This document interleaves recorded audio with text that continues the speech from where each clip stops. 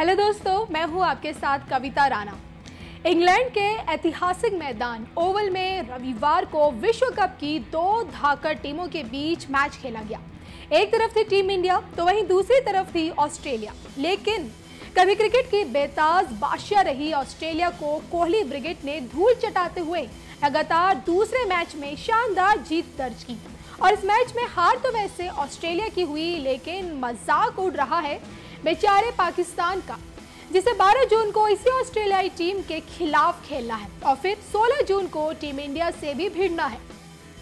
दरअसल team India ने ऑस्ट्रेलियाई बॉलिंग अटैक की, जिस तरह से कुटाई की है, उसके बाद से सोशल मीडिया पर लोग पाकिस्तान का मज़ाक उड़ाते हुए तरह तरह के मीम्स पोस्ट कर रहे हैं। एक ट्विटर यूज़र ने मीम्स पोस्ट की है, जिसमें ऑस्ट्रेलियाई फैंस दुखी हैं। जबकि पाकिस्तानी फैंस कह रहे हैं, मगर इसमें ज़्यादा दुखी एक और टीम है और उनके फैंस हैं। एक और ट्विटर यूज़र ने यह तस्वीर पोस्ट करते हुए लिखा, इस बीच पाकिस्तानी टीम डैडी जीत गए। तो वहीं एक और ट्विटर यूज़र ने ट्वीट कर पूछा, डर तो नहीं लग रहा पड़ोसियों? मीम्स में लिखा है, और बताओ, पाकिस्तानियों चैन से सो पाओगे आज रात? डर तो नहीं लग रहा।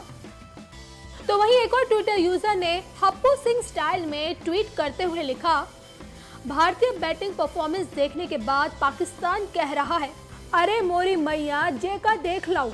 तो वहीं एक और ट्विटर यूज़र ने लिखा, भारत का शानदार प्रदर्शन देखने के बाद इसी बीच पाकिस्तान प्रार्थना कर रहा है कि भारत के खिलाफ मैच में बारिश हो जाए। तो कुछ इसी तरह के मीम्स और ट्वीट कर लोग पाकिस्तानी टीम का मज़ाक उड़ा रहे हैं। फादर्स डे यानी कि 16 जून को होने वाले भारत बनाम पाकिस्तान मैच को लेकर क्रिकेट फैंस में अभी से जोश और जुनून देखने को मिल रहा है और पाकिस्तान के बॉलिंग अटैक को बेहतरीन बताया जा रहा है, जिसमें मोहम्मद आमिर, वहाब रियाज और हसन अली जैसे गेंदबाज हैं। लेकिन मैच से पहले ऑस्ट्रेलियाई बॉलिंग अटैक को भी बेहतरीन माना जा रहा था, जिसमें मिशेल स्टार्क, पैट कमिंस जैसे गेंदबाज हैं।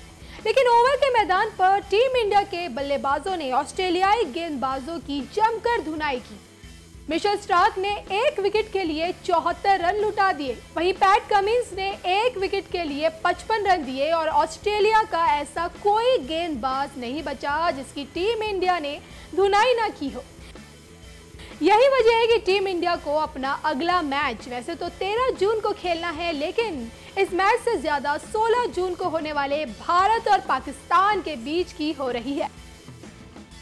इस हाई वोल्टेज मुकाबले से पहले दोनों टीमों के आंकड़ों की बात करें तो उन्नीस सौ बानवे के बाद से अब तक छह बार भारत और पाकिस्तान की वर्ल्ड कप में टक्कर हो चुकी है, लेकिन हर बार पाकिस्तान को हार का सामना करना पड़ा है।